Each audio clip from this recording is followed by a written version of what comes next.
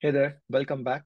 Uh, so in this particular session, we are going to, so in this particular session, uh, we are going to look at uh, how we can set up a Selenium Java project, uh, which will be using Maven and TestNG uh, using the Aqua IDE.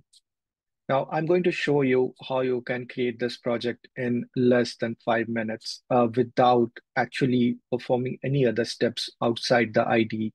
So while creating the project itself, uh, we'll be setting up all the dependencies. We'll be setting up um, everything which is required for a Selenium project. So let's get started on how to do this. So here uh, in the Aqua ID, uh, when you launch Aqua ID, this is the screen where you end up with. And here you can see your existing projects or you can create your new project. So we are going to create our new project. So we'll click on new project which should show you this uh, screen with lots of different options.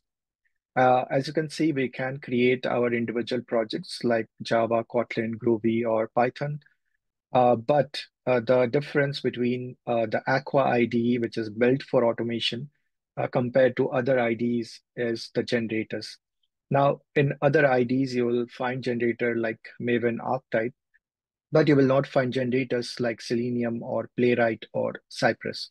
So here you can see uh, we have got inbuilt generators uh, for Selenium, both with Python and Java.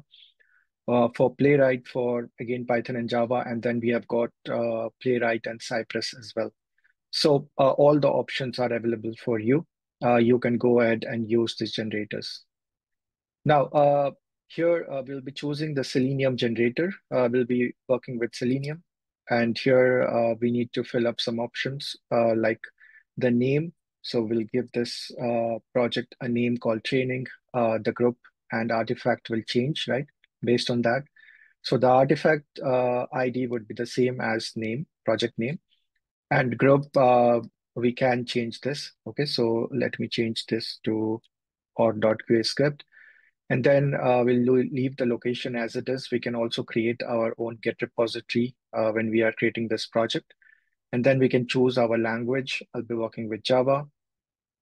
We can choose our uh, build system, so which will be Maven. We can also go with Gradle. Then uh, coming to test framework, uh, both the test frameworks are present here. So we'll go with TestNG for now. Uh, the important part here is uh, the JDK is selected. If not, you can also download the JDK or add your own JDK version which you have in your system. So uh, then we'll click next. And uh, here is the interesting part, right? So here you can also uh, set up your dependencies for your project. So you can see both the versions are available here, Selenium 3 or 4. So we'll be taking the latest version. And then uh, you will see here, uh, Selenium is selected by default uh, and the version 4.25, which should be the latest. And then we have got a couple of execution and reporting dependencies. So we can work with Allure framework, which is a popular reporting framework. And that is what uh, I'm going to choose. Uh, I'm not going to choose Selenide for now or uh, Serenity BDD if you're working on a BDD framework. Uh, then there are assertions framework as well, uh, which is AssertJ Hamcrest truth, right? So all this can be set up uh, in the beginning itself. So now uh, what we'll do is we will go ahead and create uh, the project with these two dependencies for now. And you will see how quickly uh, Aqua ID can set up this project for you. Okay, so here you can see it has already set up uh, our project and then we will say load Maven project.